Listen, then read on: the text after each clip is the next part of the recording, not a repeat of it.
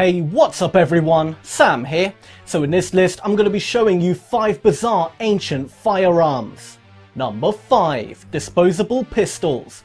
Back in World War II, over 1 million disposable pistols were airdropped, these pistols were really cheap to make, costing only $1.72 per unit. But why exactly give troops a gun that is cheap and not very good? Well, they weren't given to troops but rather to resistance fighters, as a temporary weapon so they can kill an enemy then scavenge a better gun. These disposable pistols had no rifling grooves in the barrel, so the bullet's trajectory wasn't very straight. They also only had a range of about 7.5 meters. While as a gun they were pretty crap, but if you're in a war zone unarmed, even one of these disposable pistols would have been very welcomed. Number 4. Pocket Knife Pistols During the Victorian era, there was a rise in smart gadgetry. One of these gadgets was a pocket knife pistol. It was designed and manufactured by an English company called Unwin and Rodgers. These pocket knife pistols were advertised as a great way to defend your home from burglars. The pistol fired a small bullet that can kill a target up to 45 meters away. A US company also created a pocket knife pistol called the Defender. This gun could be loaded with 22 caliber bullets and was sold for $5. In today's money, that's the equivalent of about 70 bucks. Number 3. Knuckle Duster Guns Street gangs in Paris loved knuckle duster guns.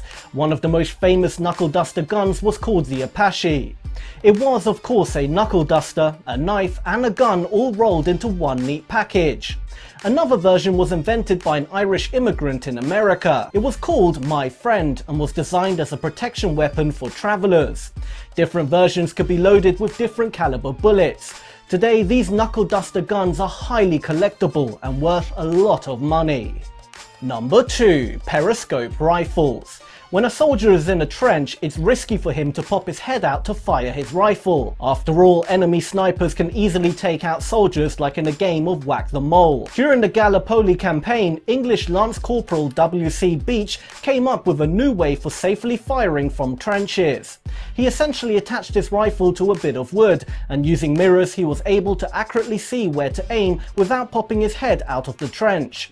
This became known as a periscope rifle. The government loved the idea and began developing their own versions. One of the most famous was the Guiberson rifle. Today they're not really needed as much, since the art of war has changed significantly. Back in the early 1900s when a soldier died, it was no big deal. Today however, it makes front page news. Number 1. Squeezer Pistols this weapon is the only pistol that doesn't resemble a pistol in any way. The whole gun was made to fit in the person's palm. As you can imagine, these squeezer pistols were very easy to conceal and that's exactly what they were marketed as. Some of these guns didn't even have triggers. In order to fire them, you had to literally squeeze them. One model with this mechanism was called the mitrailleuse. When you squeezed the rear of the gun, it would push a bullet from the magazine into the chamber. If you squeezed a bit harder, the gun would cock and release the the pin and it would fire a round. While they were very easy to conceal, the way you used them just never caught on, not to mention just how dangerous it would be to have a gun that went off if you squeezed it. Just imagine having one in your back pocket and accidentally sitting down. Thank you for watching, do make sure to turn on channel notifications and follow me on Instagram, Twitter and Snapchat. All details are on screen and in the description below.